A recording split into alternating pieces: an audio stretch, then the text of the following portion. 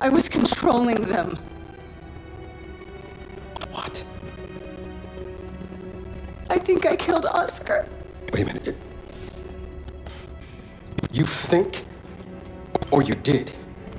I don't know. I don't know. I just. I want it out of my head. I want it to stop.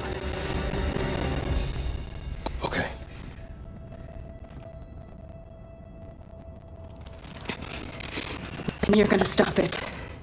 And if I do not, Then we delete you and destroy every bit of your precious research. then please allow me to assist you.